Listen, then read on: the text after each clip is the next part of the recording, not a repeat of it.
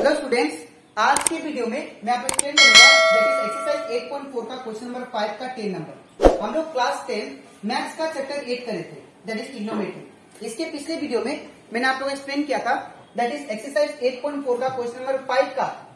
That is 1 से लेके 9 तक जितना भी क्वेश्चन था वो सारा एक्सप्लेन कर दिया था. ठीक है? और इसी के साथ साथ मैंने आप लोग को एक्सरसाइज 8.4 का क्वेश्चन नंबर 1 से लेके 4 तक वो भी क्वेश्चन मैंने आप लोग को एक्सप्लेन कर दिया था. और मैंने आप लोग को एक्सरसाइज अभी तक एक्सरसाइज 8.1, 8.2 और 8.3 का जितना भी क्वेश्चन था और जितना भी एग्ज़ाम्पल क्वेश्चन था वो सारा एक्सप्लेन कर दिया। तो अगर आपको सारा क्वेश्चन अच्छे से सीखना है तो आप लोग उसको मेरे यूट्यूब चैनल में जाकर उसको देख सकते हो ठीक है? इसी के साथ साथ अभी तक हम लोग क्लास टेन मैथ्स का chapter one chapter two chapter three chapter eight और chapter six and chapter that is eleven मैंने आप लोग को एक्सप्लेन कर दिया। तो अगर आपको सारा चैप्टर का हर एक क्वेश्चन अच्छे से सीखना है तो आप लोग उसको मेरे यूट्यूब चैनल में जाके उसको देख सकते हो, ठीक है? मैंने हर एक चैप्टर का प्लेलिस्ट बना के दैट इज़ वीडियो अपलोड कर दिया। तो अगर आपको कोई भी डाउट लगे तो आप लोग उसको एग्ज़ाम बार बार रिपीट करके देख सकते हो। तो स्टार्ट करता था क्लास यहाँ पे एक्सरसाइज 8.4 का क्वेश्चन नंबर 5 का टेन नंबर भी दिया गया है। यहाँ पे दो टर्म है, ये टर्म और ये टर्म ये दोनों टर्म को हमको टेन स्क्वायर ए के इक्वल प्रूफ करना है। ठीक है? That is right hand side के इक्वल प्रूफ करना है। तो हम लोग को ये सॉल्व करके जैसे भी ये लेके आना है, और ये भी सॉल्व करके मुझे ये लेके आना है। तो इसको कैसे करेंगे? ध्यान से देखिए।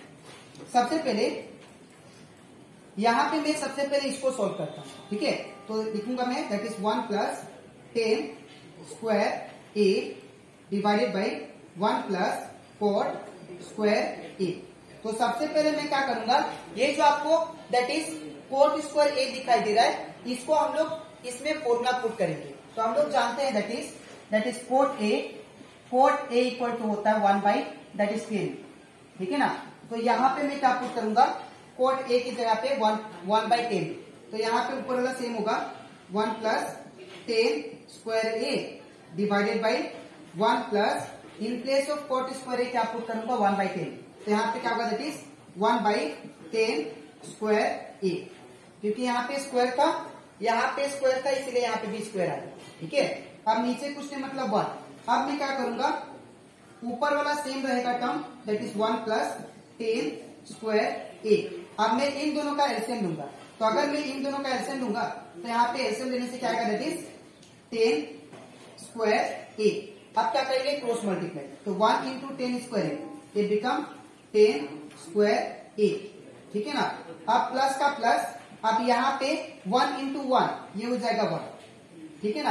अब यहाँ पे ऊपर एक नंबर है, एक टर्म है, नीचे फ्रैक्शन नंबर है. तो हम लोग जानते हैं नीचे फ्रैक्शन नंबर होने से तो नीचे वाला फ्रैक्शन का जो डिनोमीटर होता है, वो ऊपर जाके क्या हो जाता है? मल्टीप्लाई ठीक है? तो यहाँ पे क्या लिखेंगे दैट इज़ यहाँ पे ये वाला ऊपर चला गया तो ये कितना होगा? That is tan square A multiply होगा किसके साथ? ये ऊपर वाला टर्म के साथ. ठीक है? That is one plus tan square one plus tan square A. इसके बाद नीचे जो सेम है, उसको लिख लेते हैं। क्या बचा that is tan square A plus one. तो यहाँ पे अगर देखो आप लोग, ये वन प्लस में, ये भी वन प्लस में। और ये टेन स्क्वायर ए प्लस में, ये भी टेन स्क्वायर ए प्लस में। ठीक है? तो ये दोनों सेम है।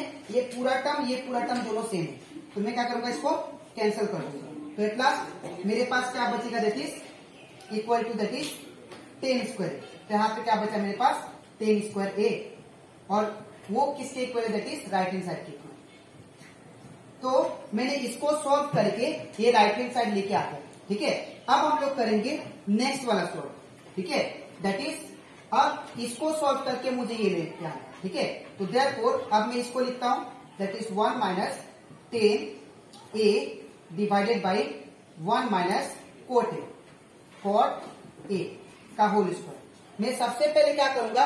जैसे कि यहाँ पे कोट स्क्वायर ए को मैंने one by tan square A में तोड़ा था. इन द सेम वे इसको भी मैं कोट ए को क्या लिखूँगा? वन बाई टेन ठीक है? तो यहाँ पे क्या होगा?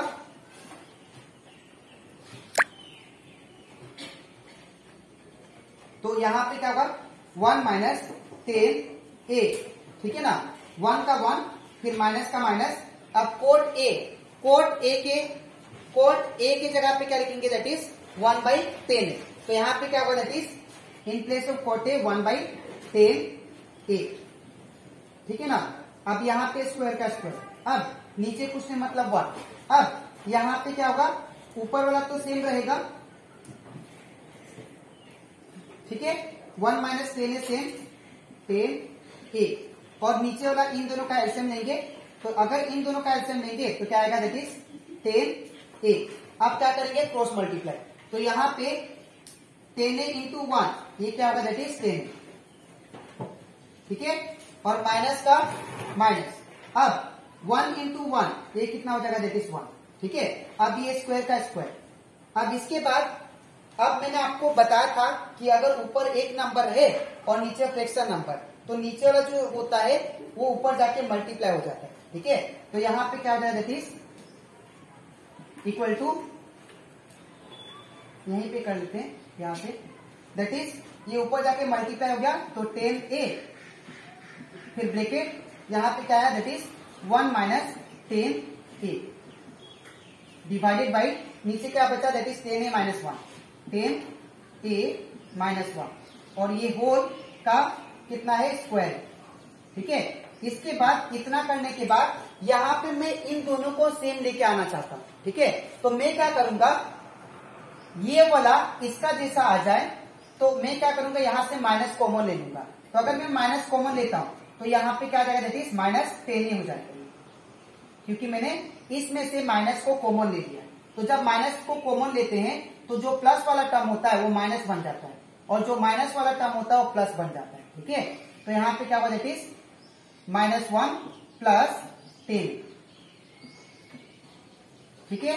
होल डिवाइडेड बाई नीचे क्या बचा that is tan A minus one ये स्क्वायर इसके बाद यहाँ पे क्या होगा? ये वाला टर्म देखिए, ये माइनस वन है, इधर भी माइनस वन इधर प्लस टेन है, इधर भी प्लस टेन है. तो इधर ये दोनों क्या हो जाएगा? कैंसर तो क्या बचेगा that is minus tan A का होल स्क्वायर तो अगर हम लोग जानते हैं, कोई भी नेगेटिव टर्म का स्क्वायर करते हैं तो क्या आता है? वो पॉजिटिव हो जाता है, ठीक है? तो यहाँ पे क्या हो जाएगा? दैट इज़ ये माइनस वाला क्या हो जाएगा? इज़ प्लस तो क्या बन जाएगा? इज़ टेन ये स्क्वायर अंदर हो जाएगा स्क्वायर वही हमारा क्या है? इज़ राइट आंसर ठीक है? तो यहाँ पे इन दोनों का, ये दोनों जो है, इन दोनों को सॉल्व करके क्या है? इज़ टेन स्क्वायर जो कि राइट आंसर ठीक है?